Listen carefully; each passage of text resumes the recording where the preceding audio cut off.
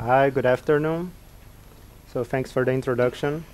Uh, so yeah, I'm working now for OpenShift, which is a very really interesting piece of software, and it has helped me learn a lot of things about the new technologies that are catching everybody's attention. And we'll be talking about one of them today, which is uh, Docker containers and how do you build them to run your Python applications in the cloud. So just a bit of explanation what to expect for this talk. Uh, so the first part I'll just give a bit a bit of background on the technology side, uh, what what the world looks like. So maybe that's the boring part I would say. Uh, then next, I'm gonna go hand uh, hands-on and show a bit how to create containers. That's probably one of the reasons you're here today. So who here wants to see how to create containers and never created containers before? Okay, good. That's great. So next thing, I'll go a bit further from just creating the containers, but how do you actually wire things together? So one container is nice, but after some time it gets really boring. So you probably want to do more things, like you want to run your application in a database or a message queue or some other thing. And I'm going to show you that and and then like we'll do a quick recap, see what what we learned, and hopefully have some discussion in the questions part. So the background part, uh, what I've I've been observing, like I'm not very old, I'm not in the industry since forever, but what I see is the tendency that everything that used to be manual, we are making it automatic, and this goes from the hardware side with uh, service provisioning. So we go from, okay, how do I get a new server? Before it was a manual process. You need to put a new box in a data center. And now you have virtual machines. You can simply start a new machine with whatever operating system you want in a matter of seconds or minutes, depends. Uh, we are also automating tests. So before development process was okay, you, you spend a lot of time uh, working on something, then you send the code over to somebody else, they test it, and put it in production. Right now we try to automate it, and uh, so we have automated tests. So the same for deployments. Before, uh, deployment was, okay, how do I FTP my files to another server or in some other procedure? Was risky thing. Not everybody is allowed to do that you have a special team operation team to do it. And today we see movements like DevOps that try to bring together uh, developers and the operational team with whatever it means. It's a new buzzword and nobody knows what DevOps is, but that's what I take from it is uh, making deployments quick, making communication better between operation team and developers. And another part that we also see automation is uh, with monitoring. So before you put your, your system online and you're hoping that it's still there, maybe wait for a user to complain that your website is down. And now we have a lot of uh, services or tools that help you monitor your, your application live. So given this, what are the what are some of the techniques and practice that we have seen that uh, kind of make this new era that I, I have in mind. So on the more uh, developer side, we have uh, most processes for development include practices like sprints.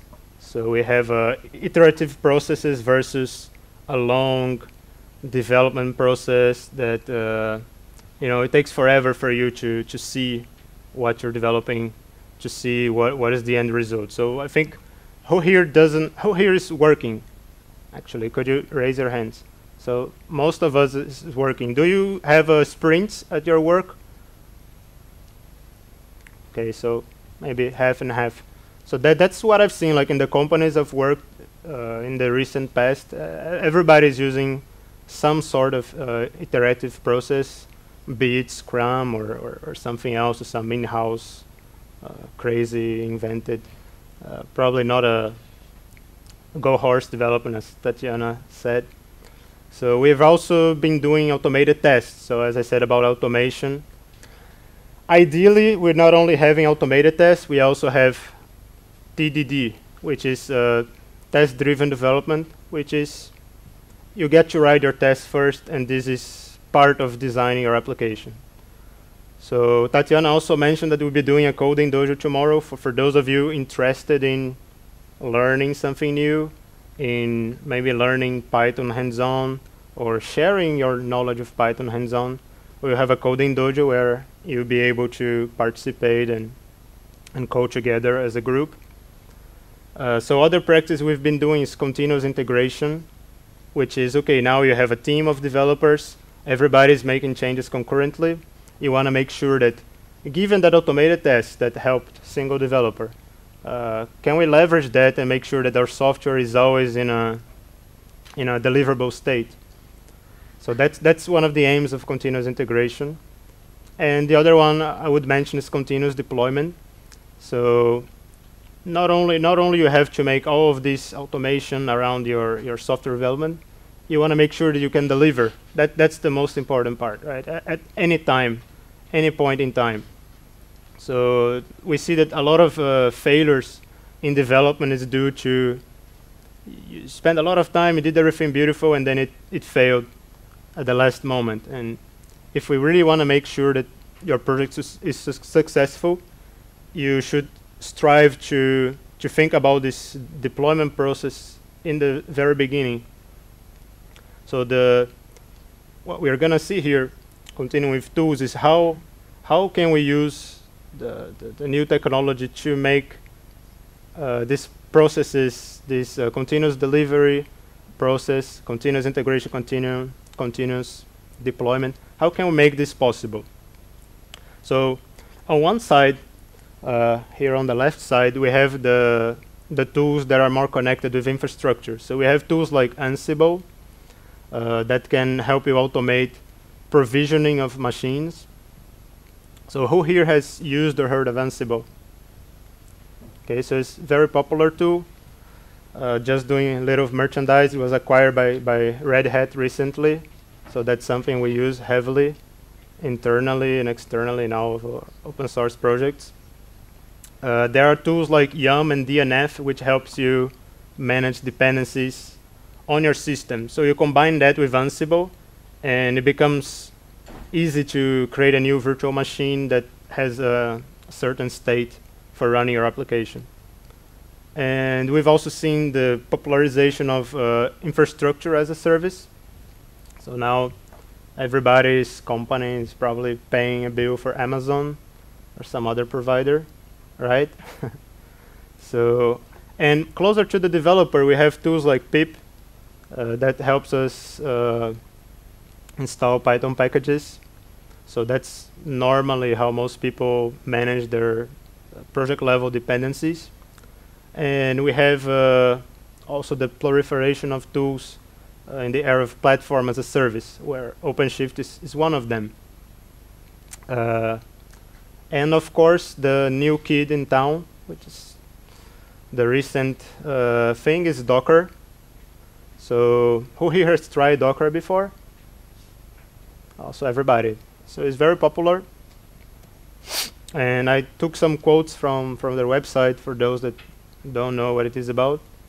So just uh, go through it. So Docker is uh, as it says, it is allow packaging applications with all the dependencies in a small unity. So you can think of it as a lightweight form of virtualization, where before you would uh, you would create virtual machines to to ship your application. Now you can create containers. So normally with virtual machines, you don't uh, like you don't package the whole machine and then send it over to production.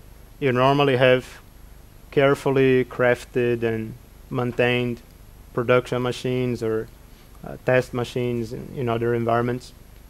And you use tools like Ansible to provision them to update the version of your of your software.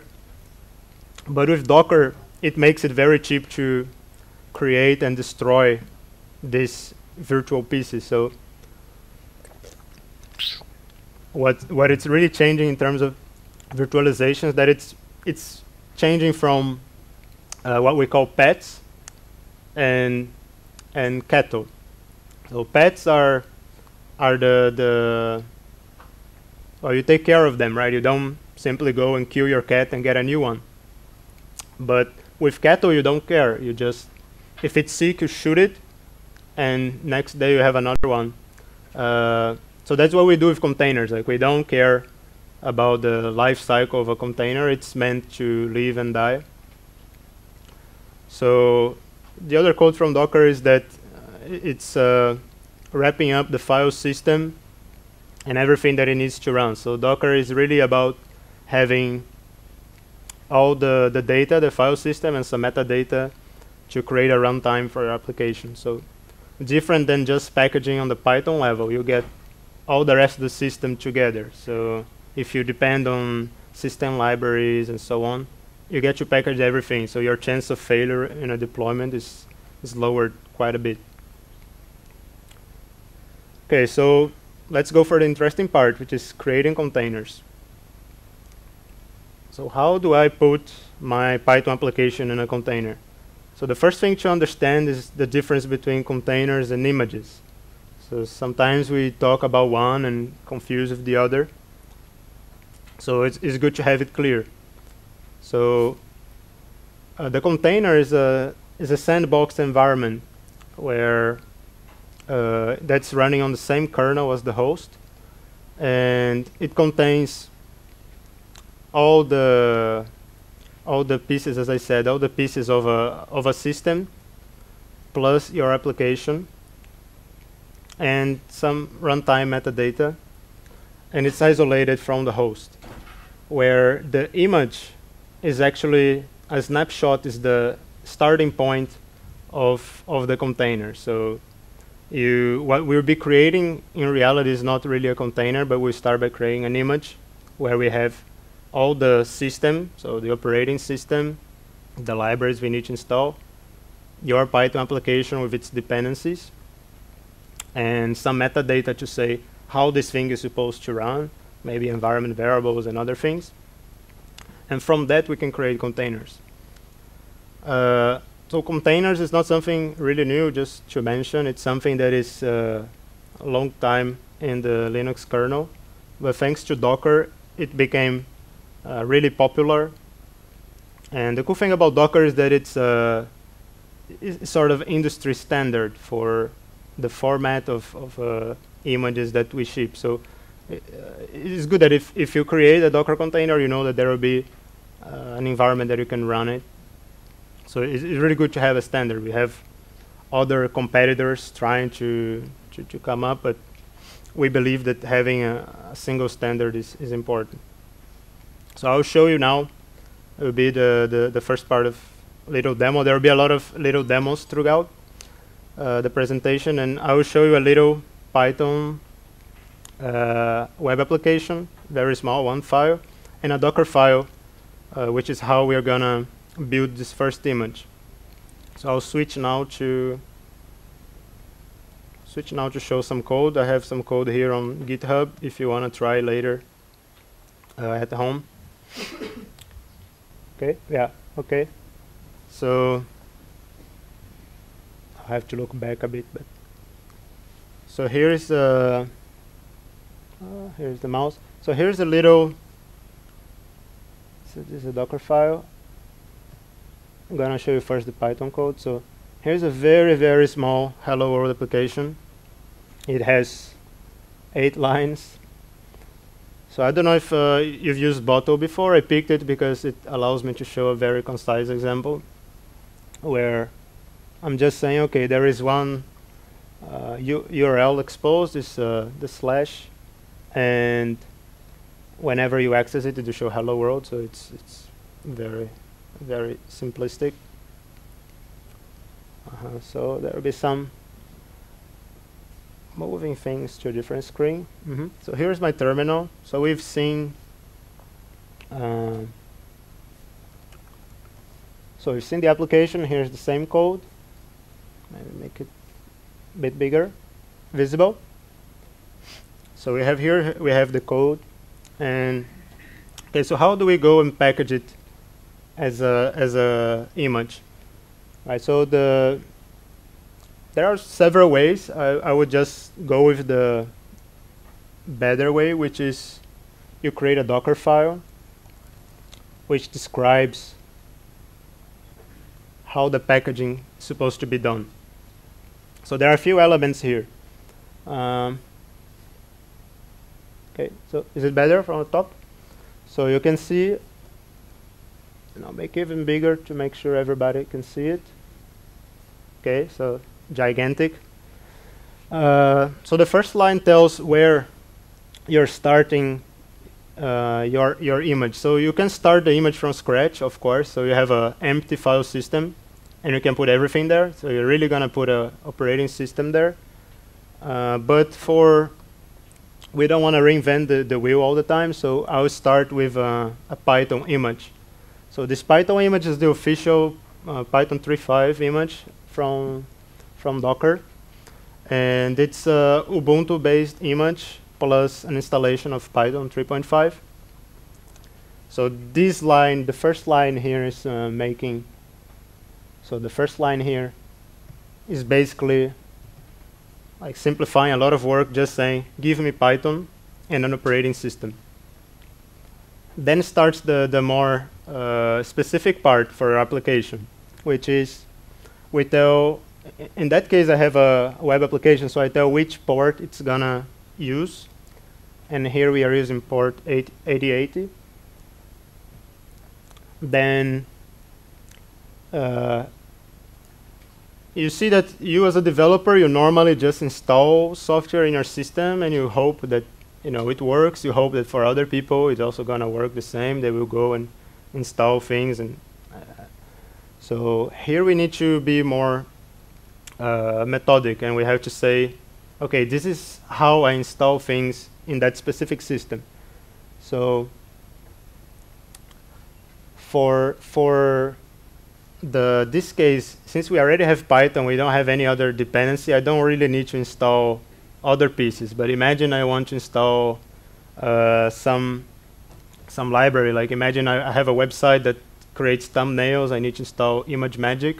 I would go in this case and run apt get install uh, ImageMagick and, and all the dependencies. So for us, it's simple. We just need to run a command. We'll create a directory. And here we have a little line to update pip itself. And I'll set what will be the working directory. So this is part of that metadata I was talking about. So when you start a container with this image, the current working directory will be user source app. Then this is important. We are saying copy all the source code uh, into this directory, user source app. So the dot here means the, the context of the, the build that we're going to do. And it's essentially right now the current directory. So it includes the Docker file itself, the app.py file, the, our Python script, and the requirements.txt file, which I actually forgot to show. Uh, then the next step, we will install the dependencies using pip. And notice that possibly that's not what you do in your uh, development environment. You don't you don't really care about writing this no cache dir and other things. We probably just use the requirements file. So when we are writing this uh, image, we want to make it sure make sure that it's as small as possible. So we are trying to clear caches and or even avoid caches at all costs. And then the last part here is um, uh, it's telling what command to run when you start your container. So in this case, we run Python 3 with our script. So it's a rather short uh, file, but still like it's very dense. There are a lot of concepts there that you, you need to master. There are syntaxes for defining certain commands and so on. Right. I, I won't go into like detail of a Dockerfile tutorial. I think that's enough for us to know. Uh, and I'll show just because I forgot before, I'll show you the requirements file. This is a very simple project. We are only using Bottle. That's what we need to install with pip. Okay, so how do I build this. Right, how do I create my image? So given that you have a Docker file describes all the steps how to create your image, you just use the Docker tool to say Docker build, give it a name, hello, and give the the context which is the current directory. So we do run, I had everything cached, hopefully, so I didn't have to pray for the demo gods. Uh, and then we have a new image called hello. So if we if we will we can can list all the images and I have here my hello image now. So as you can see there, it was just built my hello image. I have two images there. I'll show you why. Okay, so that's one way to build images.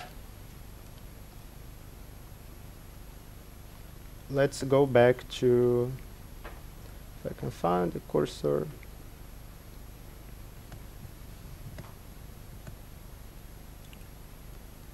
So what did you think? Was it simple? Was it complicated? I think it looks simple until you start doing it. So for those that started using Docker, you probably realize that there are a lot of pitfalls and some small details that uh, you get to learn as you try it. So I'll go through a few image a few considerations you, have to have in mind when you're creating your own Docker images if you decide to do so. So the first thing is what is going to be your base image. So it's easy to pick an image from Docker Hub, which is a, uh, it's like a, is a website where you have a repository of other users' images, include some official images provided by Docker. So you have to pick one of those or start from scratch. So that decision is going to influence uh, how your container runs. It's just like how you choose your operating system for your development of a production environment. So the next thing that uh, trip people up and and you may you may learn about it maybe a bit too late is about the proper usage of layers. So the way that Docker works, every action that you do, like every instruction you run, it becomes a new layer. So the file system is not the normal file system you're used to, where you have all your data and that's it you have a layered file system. So everything is uh, is made by layers. So you have a you have a, a base layer. When you do something else, it doesn't change the previous layer. That layer was is immutable. You just overlay it with a new layer with the changes. So if you're not careful enough, and for example, you add a lot of software in one layer, and then you remove it in the next layer, your final image size is actually like the same as before or, or bigger than before. So a lot of people are wondering like, oh, why my image is so big? You have to be careful about usage of layers. The next thing that people maybe don't talk enough about is about uh, the default user and permissions. So as you saw in that example there, I didn't mention anything about user. And the, the official image of Python 3.5 will just uh, give you the root users as a default. So what it means in practice is that if there will be ever uh, a security issue with Docker that allows you to to take control of the container and, and to escape the containment, uh, you basically have root access in the host. So this is a serious danger and people normally overlook it. They think, okay, the container is meant to contain, but unfortunately that's not true. So one thing you should have in mind is what's going to be your def your default user. Normally, you should have a user with uh, non-root privileges as the default. So you also think about exposed ports, as we saw. You think about what is the work directory. That these are maybe things that you could overlook in the beginning, but they make uh, using the image uh, either convenient or inconvenient if you made the bad choices and we saw uh, we set the the command to be executed when we started the the container. Uh, so that that's uh, that choice also of entry point and command is something that I see a lot of people confusing in the in the Docker community. They use the wrong syntax and they don't use these things properly. So it's important to go read the docs, understand how it works. Uh, then you also need to think how you install dependencies. So depending on your base image on your system, there will be different ways to install system dependencies, language dependencies, and how do you do how do you reuse parts of the image. So it's thinking about all of these things that uh, part of the, the, development of OpenShift include a project called Source to Image. So we thought that all of these hard decisions you have to make to to create an image, maybe you don't really want to be making them over and over again. So that's that's where the reuse comes in, right? So if you know how to do it well once, why can't you just reuse that? So I'm gonna show you again like how to do another build, but this time using this uh, source to image tool. So it's gonna look a lot similar to to the Docker approach, but we'll see the the differences. So let's try to switch again to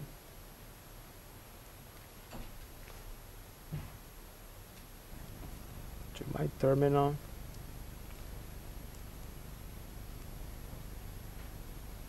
Okay.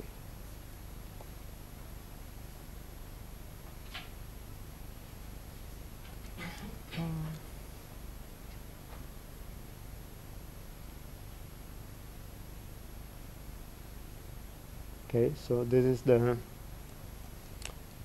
this is the line make it bigger. Boom. make it bigger. Good enough? Okay. So I'll just run it.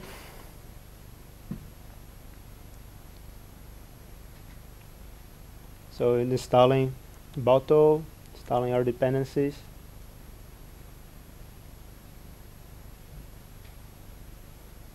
And we're done. So it works pretty much as the, the script we ran before.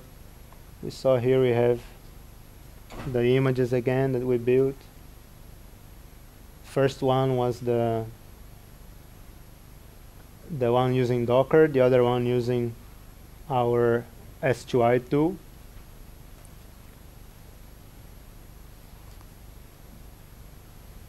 So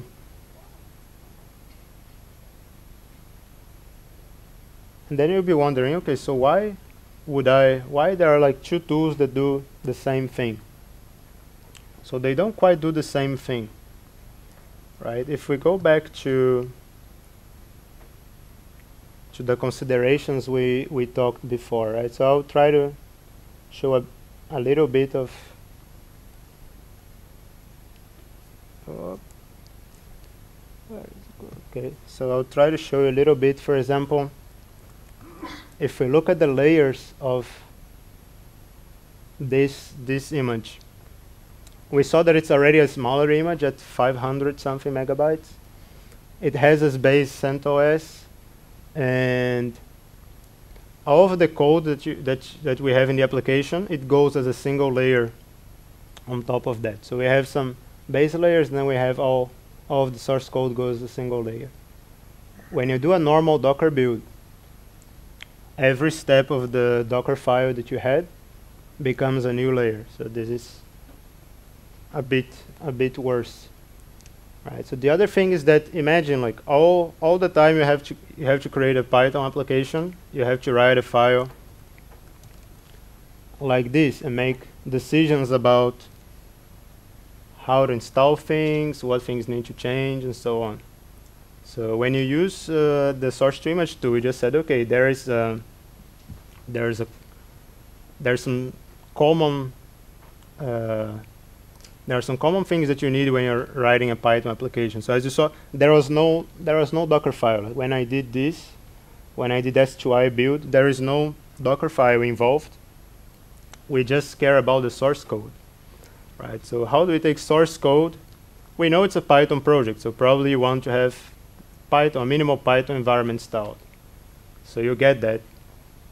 Uh, you want to have some core uh, system dependencies installed. You also get that.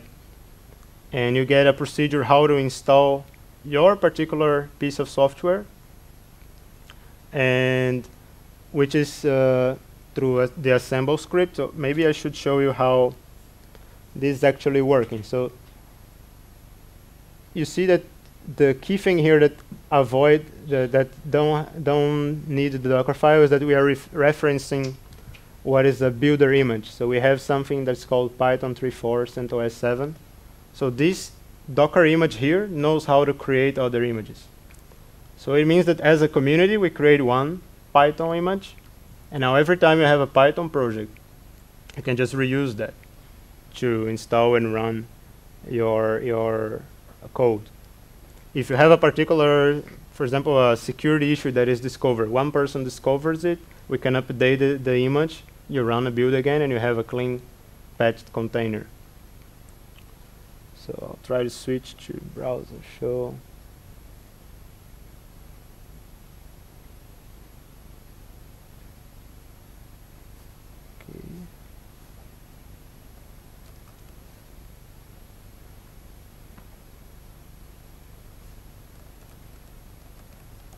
So I'll open here the, this is the project where uh, that's the, the Python 3.4 image for source to image that allows you to just give the source and then we have a Python image for you. So the interesting thing here is that there are three scripts. So the bottom one here, usage, is it is just when you run the image, if you didn't, if you run that uh, Python 3.4 image without any code on it, without your custom code, it will just run this by default telling you how to use the image. So that's the purpose of the usage script. Then you have a run script, which tells you how to execute your, your code in runtime. So again, that in Docker, you have to create one instruction that tells how to start the application. Here you have uh, here you have like a common code for most applications. How do you how do you run uh, web service? Uh, for example, a Django application or an application running with Gunicorn. And as we support more and more tools, we can uh, update that script. And we have the assemble script, which is the one running pip, and also lets you uh, install custom packages and system level things. So all of this, all of this script you can customize in your in your code by adding uh, a script that replaces this or adds on top of this. So using this tool, you you can create better, easier images. But again, we are still doing things manually, right? So, and I said in the beginning about automation. So of course you're not supposed to be like doing Docker builds by hand or doing source to image builds by hand, but you want to automate this. And if you're using OpenShift, we have a concept of builds that support both building regular Docker files and also building uh, using the source to image tool, building your code straight. So you just provide your source repository, we'll build an image for you, uh, so I think that that's the cool thing in terms of automation. So there are a couple more things to show and not a lot of time. So we'll show you now how to wire things together, right? So I showed you one uh, hello world application. I, we didn't see the application running. I have it here. Uh, running is really boring. just show hello, right? So not not not very interesting. So I wrote in the same repository here. Uh, I wrote some other two applications, one called pools. This is using requests to call the GitHub API and get recent pull requests from from the OpenShift origin project, which is where we develop OpenShift.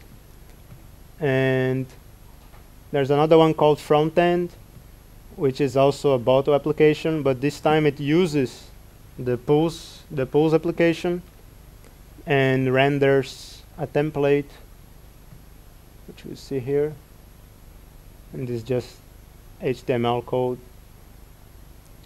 So this is consuming. So I just wrote these two small applications quickly just to show. Haha, I cannot scroll. Okay, yeah, it's just this. Just to show how one service can consume. Uh, uh, so how how two services can interact together. Right? So if you have at work maybe a microservice architecture, or you certainly have at least an application and a database that you're going to run as separate containers. So how can they talk to each other? Since we are short on time, I'll show you uh, the, the console here for this is the this is the OpenShift console with some gigantic zoom. Uh, so I, I had a I had one for a live demo. Since it might take some time, I have another one with uh, an already deployed application. So here I have the front-end application and the pools application. And now I did to create that. So this I can show and we'll wait while it happens. So there is a command from OpenShift called OC. OC is the OpenShift client. You say OC new app. Again, I'm using the, the Python 3.4 image, and I pass, as you can see there, the URL for my code and I, am just giving it a name the default name would be ugly. I want to call it frontend. and with that one line, it will go fetch my code in GitHub. It will it, it will create uh, create and build an image for me, and you deploy this image, creating a container. So this one is the one that is already running. You can see what it does if I find the tab here. So this is I can refresh. Yeah, so these are the three recent pull requests in the project for the quick demo. So I'll go back and take the one the, in the live demo. So we see that it's creating a build for for for the front end application. And as soon as the image is built, it will run the image as a container. And the fun thing is that if I have two of them, one can consume the other. In this case, by uh, so here's the pools. I see that the only thing that changed, I'm I'm changing now for pools. So we'll have the build of both, and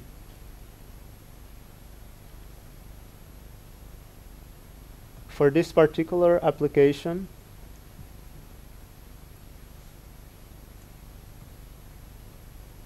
uh,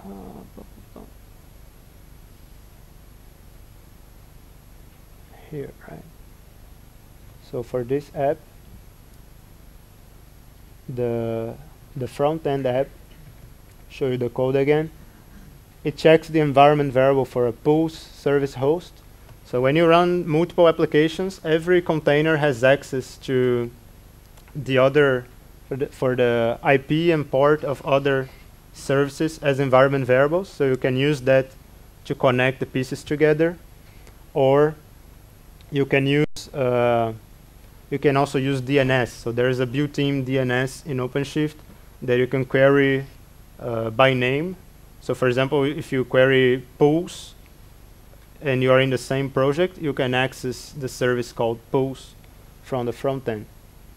And let's see how far we went here.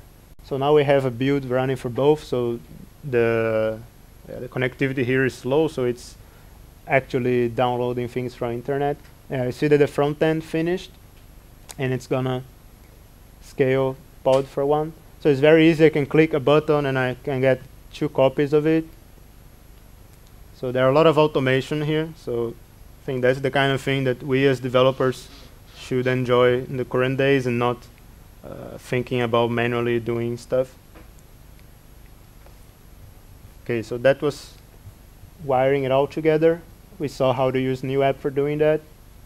Uh, so there's another thing if we have one minute left, but I'll just show you that the other way to combine things is uh, using uh, templates. So if you have more complex applications with multiple components, I will show you one here. This is one example of template. It's just JSON. And this defines like containers and uh, which ports things run, environment variables. We don't have time to go into detail. Like if you're interested, you can reach me on the corridors and I can show you this in more detail. But the idea is that you can define all the pieces of your of your project, of your of your product, if it's composed by multiple pieces. You can define them together in one place and with using OC new app again, you just instantiate this template. Uh, so again, if you want more information, you can, can talk about it after. Okay, so recapping, we saw at least two ways to, or three ways to build, uh, to build Docker images and Docker containers. So the first one was using the Docker tool. Then we saw a lot of things, a lot of uh, concerns that we have to have in mind when we're doing that. We saw a tool that help us go from source code to running images.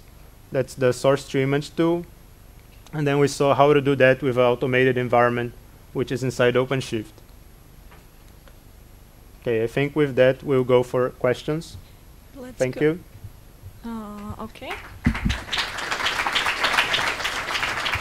So uh, the question that received mo most votes is: uh, Does it make sense to use vir virtual environment inside Docker? Okay, that that's a good question. So the answer, short, is yes, it does. Uh, so if you go a bit further to think, so the way if if you don't use a virtual env, it normally implies that you have access to the system. So if you're running just pip install something without a virtual env, you need root, right? So you need sudo pip something. And as I said, that's not a very good idea. So you want to run your image as an unprivileged user. So you can still use pip from the system if you do a, uh, a user side install. So it's I think pip dash dash user. But then again, there are other concerns like if you're using the, the system, you get uh, you probably get some libraries installed. Like depending on what packages you have installed on your system, you get like Jinja. Uh, for example, DNF is written in Python, so it already comes with, with some dependencies of itself. And this might conflict with things you have in your own application. So it, it's, it's still good practice to have virtual env, have only your, your project dependencies at the certain versions installed and isolated. Yep. Um, so you said uh, Python 3.5 is uh, official Python Python image. So was it already packaged by Python people or Docker, Docker people or some random Uh-huh. person, or uh, and who will take care of of the upgrade? So the official images from Docker are maintained by Docker people. So they are Docker developers. So they are not official from Python, but official from Docker. Uh, we, so we have equally the, the the images we ship with OpenShift are maintained by by Red Hat. Good. And uh, what is uh, the biggest business advantage uh, of using Docker? Hmm That's uh, another good question. Is I think there are many advantages. So maybe the silly one is to say that you're you're following the trends, but so I, I, I really like the, the the one thing I mentioned about pets versus cattle. That with a with a container it's very cheap to to try things out. So for us developers, it's easy to to try tools. It's easy uh, to try new versions. Like I can try my project with uh, with different versions of Python, and it doesn't cost me uh, much. It doesn't take me time like trying to manage different versions of Python 2 and 3 in the same machine. I can just spawn a container and then delete it. Uh, and for for uh, production for deployment, it's also good that you have everything uh, packaged in a concise and reproducible uh, shape that you know that if it runs uh, if it runs he here, it's also gonna run there in the same way. Okay. Uh, could you tell us what is uh, special about OpenShift compared to other similar tools? Mm-hmm. Okay, so that's also something I've been learning. So before I joined OpenShift, I tried to look at the market and see other platform as a service. And a lot of them, they're really easy to get started. Uh, but then that's about it. Like they might have a nice UI and so on, but then when you go to see the the the the, the fundamental parts, they are they normally they are lacking they are lacking things. So for example, there are there are some uh, tools that are solely based on Docker. It also means they can only run in one node. So as soon as you try to scale and have multiple nodes, forget about that too. Uh, with OpenShift, we are founded not only on Docker, but the other important piece is Kubernetes, uh, which is a project from Google for container scheduling. Uh, and like Red Hat works, like we developers, we work on the upstream projects, both in Docker and Kubernetes.